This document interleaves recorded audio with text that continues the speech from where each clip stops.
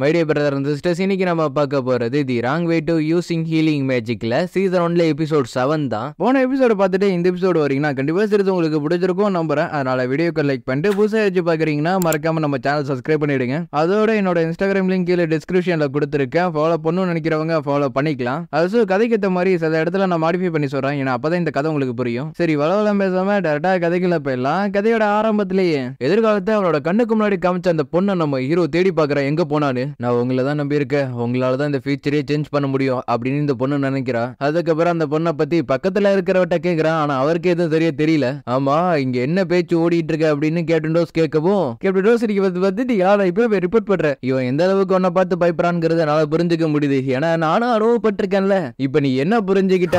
நான் நான் வந்து இதுக்கப்புறம் எதுவும் சொல்ல மாட்டேன். என்ன விட்டுருங்க போதும். ஆமா இவ்வளவு நேரம் நீங்க எங்க இருந்தீங்க அப்படின்னு நம்ம ஹீரோ கேக்குறான். பார்டர் லைன்ல இப்ப என்ன நிலவரங்கிறத செக் பண்றதுக்காக போயிருந்தேன். டிமன் ஆர்மில இருக்கிறவங்க எல்லாரும் ரிவர்ல பாலம் கட்டிட்டு இருந்தாருங்க அப்பனா இப்ப நம்ம என்ன பண்றதுன்னு நம்ம ஹீரோ கேக்குறான். இப்போதைக்கு அவனுங்கள பத்தி கவலைப்பட தேவையில்ல. ஏன்னா நான் அவங்களோட பிரிட்ஜை உடச்சிட்டேன். திருப்பி அவனுங்க கட்டுறதுக்கு ரெண்டு நாள் ஆகும். அது வரையும் நமக்கு டைம் இருக்கு. உன்ன மாதிரி ஒருத்திக்கிட்ட இது எதிர்பார்த்ததுதான். ஏய் இப்ப நீ என்ன சொன்ன? அப்படின்னு மூஞ்ச பிடிச்சி நசுக்க ஆரம்பிச்சாரா அதுக்கப்புறம் நம்ம ஹீரோ அந்த பொண்ணை பத்தி கேக்குறான். அந்த பொண்ணு ரெண்டு வருஷத்துக்கு முன்னாடி தான் இந்த இடத்துக்கு வந்தா. அப்போ அவளுக்கு பன்னெண்டு வயசு இருக்கும். டெமி கேமன்ஸ் பாக்குறதுக்கு ரொம்ப அழகா இருப்பாங்க. அதுலயும் சில பேருக்கு ரொம்ப ரேரான மேஜிக்லாம் இருக்கும். அப்பனா ஸ்ட்ரேஞ்சான விஷயம் காமிக்கிற மாதிரி ஏதாச்சும் எபிலிட்டி இருக்கான்னு நம்ம ஹீரோ கேக்குறான். உதாரணத்துக்கு நைட் மேர் மாதிரி எதிர்காலத்தில் நடக்க போற விஷயத்த காமிக்க முடிஞ்சிச்சுன்னா ஃபியூச்சர்ல இதான் நடக்க போகுதுங்கிறத ப்ரிடிக்ட் பண்ற பவர் இருக்கிறவங்களா ரொம்ப ரேரானவங்க அதுலயும் நீ சொன்ன பத்தியா? அதெல்லாம் ரொம்ப ரேரு அதெல்லாம் இருந்துச்சுன்னா பீஸ் கிளானை விட்டு வெளில விடவே மாட்டானுங்க. இது எல்லாத்தையும் எதுக்காக என்று கேட்கிற ஒண்ணு இல்ல சும்மா தான் அப்படின்னு நம்ம வீர சொல்லி சமாளிச்சிடறான். அப்பனா அந்த பொண்ணு எதிர்காலத்தை தான் காமிச்சிருக்கா. இப்ப நான் என்ன பண்ணேன்? நான் லாயிட பார்த்து பேச போறேன். அதனால நீ திரும்பி போயிடு. அங்க இதுதான் நடந்துச்சு நான் இதுதான் பண்ணேன் அப்படின்னு ரோஸ் அங்க நடந்தது எல்லாத்தையுமே ரிப்போர்ட்டா கொடுக்குறாங்க.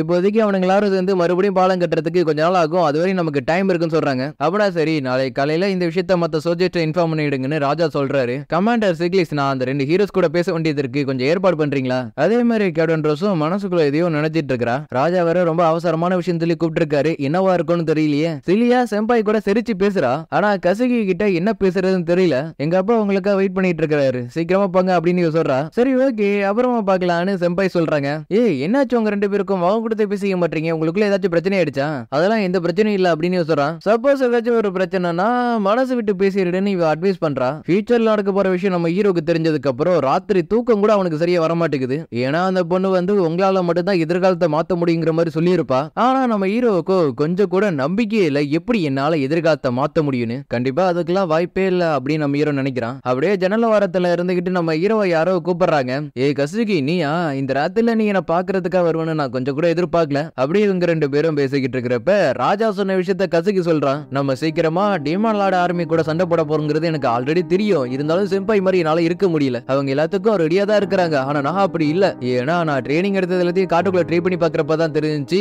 என்னால சரியா சண்டை போட கூட முடியாதுன்னு. இப்படி இருக்கிறப்ப இந்த டீமான் லார்ட் ஆர்மியை நான் எப்படி சமாளிக்கிறது? இந்த நாட்டு நாட்டு மக்களையும் நான் எப்படி காப்பாத்துவேன்? இது எல்லாத்தையும் சொல்லி நம்ம ஹீரோ கிட்ட புலம்பிட்டு இருக்கிறான். எனக்கு சண்டை போறதுக்கு ரொம்ப பயமா இருக்குன்னு. ஏ கசுகி நீ ரொம்ப நல்ல பையன். நீ எதாவது நினைச்சு கவலைப்படாது. கண்டிப்பா உன்னால முடியும். என்ன சொல்ற? என்னால முடியுமா? கண்டிப்பா உன்னால முடியும். ஆனா அதுக்குன்னு மத்தவங்களோட எக்ஸ்பெக்டேஷனுக்கு ஏத்த மாதிரி நீ இருக்க இருக்கணும்னு அவசியம் இல்ல. அதனால உன் மனசுக்கு என்ன தோணுதோ அதை நீ பண்ணு அப்படின்னு நம்ம ஹீரோ சொல்லவும் உன் கூட பேசினதுக்கு அப்புறம் தான் இப்ப கொஞ்சம் பெட்டரா ஃபீல் பண்றேன்னு கசுகி சொல்றான். ஏ கசுகி கவலைப்படாத நானும் வருவேன். டீமல் ஆர்மி கூட சண்டை போறதுக்காக கிடையாது. அடிப்பட்டவங்களை காப்பாத்துறதுக்காக. ஏன்னா நான் அதை அப்பயே முடிவு பண்ணிட்டேன்னு நம்ம ஹீரோ சொல்றான். நீ தேவையில்லாம இந்த இடத்துக்கு வந்து ஒரு பெரிய பிரச்சனையில வந்து மாட்டிக்கிட்டேன்னு கசுகி சொல்றான். நான் இந்த இடத்துக்கு தேவையே இல்லாம வந்திருந்தாலும் நிறைய விஷயத்த நான் எக்ஸ்பீரியன்ஸ் பண்ணியிருக்கிறேன். அது நான் நிறைய மக்களை மீட் பண்ணியிருக்கிறேன். அவங்க எல்லாரும் ரொம்ப நல்லவங்களா இருக்கிறாங்க. அவங்களுக்கு என்னால முடிஞ்ச அளவுக்கு உதவி செய்யணும்னு நான் பாக்குறேன். அதே மாதிரி அந்த லிஸ்ட்ல நீயும் தான் இருக்கிற. ஏன்னா நீ என்னோட ஃப்ரெண்டு அப்படின்னு நம்ம ஹீரோ சொல்றான். இதை கேட்ட கசியும் கண்டிப்பா உங்க ரெண்டு பேரையும் நான் ப்ரொடெக்ட் பண்ணணும்னு சொல்றான். ஏன்னா இப்ப நம்ம ஹீரோ அவங்க ரெண்டு பேரையும் ஃப்ரெண்டுன்னு சொல்லி மென்ஷன் பண்ணதுனால என்னோட ஃப்ரெண்டை காப்பாத்துறதுக்காக நான் எந்த எல்லைக்கு வேணா போகுதுன்னு கசுகி முடிவு பண்ணிடுறான். நீங்க ரெண்டு பேரையும் பக்கம் இருந்தீங்க நான் கண்டிப்பா இந்த நாடும் நாட்டு மக்களையும் காப்பாத்துறதுக்கு எனக்கு ஒரு தைரியம் வரும். கண்டிப்பா இந்த ராஜ்யத்தை பாதுகாப்போன்னு ரெண்டு பேரும் வாக்குறுதி கொடுத்துக்கிறானுங்க. ஆனா கொஞ்சம் ஓவரா தான் போயிட்டோமோ அப்படின்னு நம்ம ஹீரோ நினைக்கிறான். சொந்த நலனுக்காக எப்படி வேணா பேசலாம்ங்கிறத உங்ககிட்ட இருந்து தான் கத்துக்கணும். அதனால நீ சொன்ன வார்த்தை எல்லாமே கொஞ்சம் மனசு ஆறுதலா தான் இருந்துச்சு. சரி உசாட்டு ரொம்ப டைம் ஆயிடுச்சு நான் கிளம்புறேன். நான் இந்த மாதிரி பேசுனது எல்லாத்தையும் இந்த இடத்துல மறந்துடுறது நல்லதுன்னு நம்ம ஹீரோ நினைக்கிறான் அப்படியே அந்த இடத்துக்கு இனகாமி சம்பாய் வந்து நம்ம ஹீரோவை டீஸ் பண்ண ஆரம்பிச்சிடுறாங்க. உங்க கூட பேசுறதுக்கு எனக்கு டைம் இல்ல. எனக்கு தூக்கமா வருது. எதா இருந்தாலும் நாளைக்கு பாத்துக்கலாம். இன்னும் நீ என்ன பார்த்து பதறன்னு பார்த்தா பதறாம நிக்கிற. ஒருவேளை நான் ஏதாச்சும் ஒரு மிஸ்டேக் பண்ணிட்டேனா? கசகி மனசுல கஷ்டத்தை வச்சிருக்கிறத தெரிஞ்சுக்கிட்டு நீங்க அவனை ஃபாலோ பண்ணிட்டு இவ்வளவு தூரம் வந்திருக்கீங்க. உண்மைதான். ஆனா இப்ப அதுக்கு அவசியம் இல்லைன்னு நினைக்கிறேன். ஏன்னா எல்லா பிரச்சனையுமே பேசி நீ சரி பண்ணிட்டியே. உண்மையை சொல்ல போனா இன்னொரு பக்கத்துல இருந்து பாக்குறப்ப அவன் சண்டை போடக்கூடாதுன்னு நானும் எதிர்பார்க்க எதிர்பார்க்குறேன் அப்போனா விசாட்டோ நான் சண்டை போடக்கூடாதுன்னு நீ எதிர்பார்க்குறியா? சொல்லப்போனா அதுக்கு வாய்ப்பு இல்லை. ஏன்னா நீங்க இந்த உலகத்துல வாழணும்னு முடிவு பண்ணிட்டீங்க. சரி ஓகே. நாளைக்கு பார்க்கலாம். ஏன்னா நாளையிலேருந்து தான் எல்லாமே ஆரம்பிக்குது அப்படின்னு இவ சொல்றா. அதுக்கப்புறம் அடுத்த நாள் காலையிலேயே எல்லாரும் நல்லா கேளுங்க. நம்ம கூடிய சீக்கிரம் டீமன் லார்ட் ஆர்மி கூட சண்டை போட போறோம். நம்ம இப்போ முன்ன மாதிரி கிடையாது. இப்ப நம்ம கிட்ட ஏகப்பட்ட பிளான் இருக்கு. நம்ம கூட சேர்ந்து சண்டை போகிறதுக்காக வேற ஒரு உலகத்துல இருந்து ஹீரோஸ் வந்திருக்காங்க. அது நம்ம கிட்ட ரெஸ்கியூ ஸ்குவாட் இருக்கிறதுனால பேட்டில் ஃபீல்டில் அடிபட்டவங்க எல்லாரையும் ஹீலிங் மேஜிக் யூஸ் பண்ணி காப்பாற்ற முடியும். அதே மாதிரி இந்த நாடும் நாட்டு மக்களும் உங்களை நம்பி தான் இருக்கிறாங்க. கண்டிப்பா நீங்க தான் ஜெயிச்சாகணும் அப்படின்னு ராஜா சொல்லவும் எல்லாருமே நாங்க கண்டிப்பா ஜெயிப்போம்னு சொல்றானுங்க. பிரின்சஸ் உங்களை பாக்குறதுக்காக ஹீரோ கசக்கி வந்திருக்காரு. இந்த மன்னிச்சிருங்க சொல்லாம இந்த இடத்துக்கு வந்ததுக்கு. பரவாயில்ல பெருமையா தான் இருக்கு.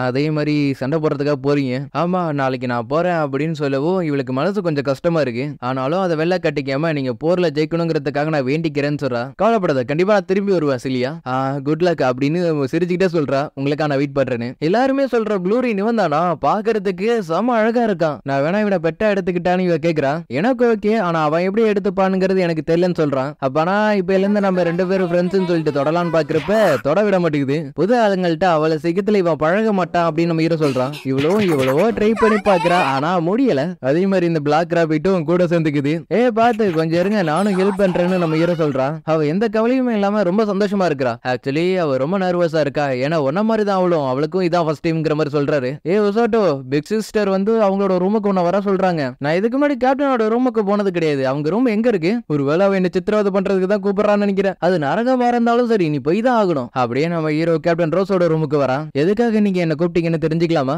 பேசணுங்கிறதுக்காக தான் கூப்பிட்டேன். பேட்டில் ஃபீல்ட்ல இருக்கும்போது என்னென்ன பண்ணுங்கிறது உனக்கு நல்லா தெரியும்ல. முன் வரிசையில உங்க கூட நின்று அடிபட்டு இருக்கவங்க எல்லாரையும் காப்பாத்தணும்னு நம்ம ஹீரோ சொல்றான். ஆனா அங்க அப்படி நடக்க போறது கிடையாது. டேங்கோ மத்தவங்களும் சேர்ந்து அடிப்பட்டவனுங்க எல்லாரும் பின் வரிசையில தூக்கிட்டு போயிடுவானுங்க. அங்க இருக்கிற ஒருவரும் அவனோட அண்ணனும் அவங்க எல்லாரையும் ஹீல் பண்ணுவாங்க. அதே மாதிரி ஃபர்ஸ்ட் ரோல இருக்கிற நீ வந்து தேவையில்லாத ஆளுங்களை ஹீல் பண்ணவே கூடாது. எனிமிஸை ஹீல் பண்ணக்கூடாதுன்னு சொல்றீங்களா? நான் உனக்கு சொல்ல வரது புரியல நினைக்கிறேன். தேவையில்லாம யாரையும் ஹீல் பண்ணக்கூடாது. உதாரணத்துக்கு ஒருத்தர் பயங்கரமான காயத்தோட சண்டை போட்டுட்டு இருக்காருன்னு வச்சுக்க அவர் உன்னால ஹீல் பண்ண முடியுமா? ஆமா கண்டிப்பா நான் அவருக்கு ஒரு இடைஞ்சல் உருவாக்கிடுவேன். முடிவெடுத்து யாரை ஹீல் பண்ணுங்கிறது எல்லாமே உன்னோட கையில தான் இருக்கு. அப்படியே நம்ம ஹீரோவுக்கு ரெஸ்கியூ ஸ்குவாடோட யூனிஃபார்ம் கொடுக்குறாங்க. என்ன பாத்துக்கிட்டே இருக்க சீக்கிரம் எடுத்து மாட்டிக்க. யூனிஃபார்ம் எடுத்து மாட்டதுக்கு அப்புறம் அது அவனுக்கு கரெக்டா இருக்கு. ஐயோ சோட்டோ நான் சொல்றது நல்லா கேளு. ஹீலர்ஸ் யாரும் இம்மாட்டல் கிடையாது. ஒரு வாட்டி செத்துட்டாங்கன்னா கேம் ஓவர் அதனால பேட்டில் ஃபீல்டுல இந்த ஒரு விஷயத்த மட்டும் விக்காரத்தை கொண்டு மறந்துடாத ஆல்ரெடி இது எல்லாமே எனக்கு தெரியும். அதனால நான் கண்டிப்பா சாக மாட்டேன். வாய் வார்த்தையை மட்டும் சொல்லாத. ஏன்னா இந்த மாதிரி சொல்லி இறந்து போனவங்களை எனக்கு நல்லாவே தெரியும். ஏன்னா எனக்கு தெரிஞ்ச முட்டாளும் இதே மாதிரி சொல்லி தான் இறந்து போனுச்சு சோ லைஃபோட வெளி ரொம்ப முக்கியம். அப்படின்னு சொன்னது எல்லாத்தையும் கேட்ட நம்ம இருவோம். என்னையும் சேர்த்து எல்லாரையும் நான் காப்பாத்துவேன். உன்னால முடியுமான்னு இவ கேக்குறா? நீ தானே சொன்ன முடிவெடுக்க வேண்டியதெல்லாம் என்னோட கையில தான் இருக்குன்னு. அப்ப சரி நான் சொன்னது எதையும் மறந்துடாத. கண்டிப்பா நான் அதை மறக்க மாட்டேன்னு சொல்லிட்டு வெளில வரேன். கண்டிப்பா என்னன்னாலும் சரி அவங்க ரெண்டு பேரையும் சாக விடக்கூடாதுன்னு நம்ம ஹீரோ நினைக்கிறான். அப்படி நம்ம ஹீரோ நினைக்கிறதோடய இந்த இடத்துல இந்த எபிசோடு முடியுது. சோ கைஸ் இந்த எபிசோடு பிறகு